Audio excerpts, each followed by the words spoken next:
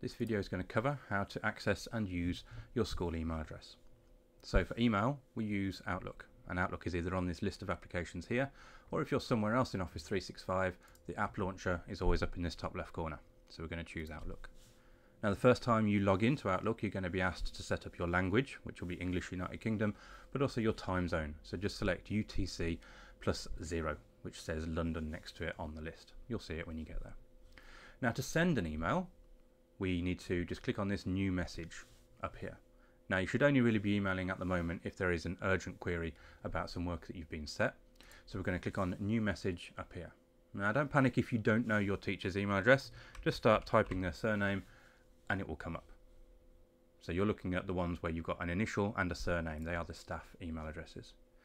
Now remember Mrs Mann's assembly about the appropriate use of email. We've got to make sure we have a suitable uh, subject for your email. So that will come up on the list of emails uh, when the teacher receives it.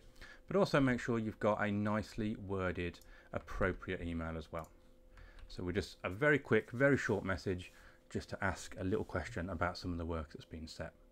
So once you've double checked that you've got the right person in the to box up here and you've got an appropriate title and email, then you're good to go.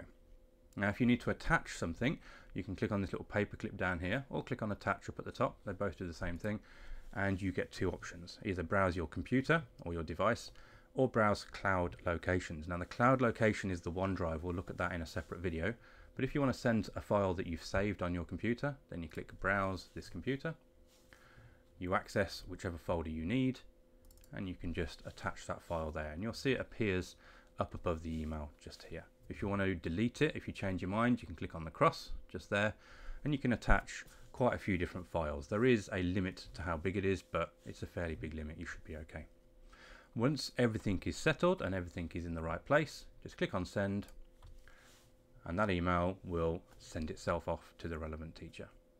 If you want to double check it has sent and you've done it right, just go into your sent items just there and you should see it on the list. Any emails you get back will appear in your inbox just there. So if you're expecting a reply, just keep an eye on that and your teachers will try and get back to you within the next couple of days.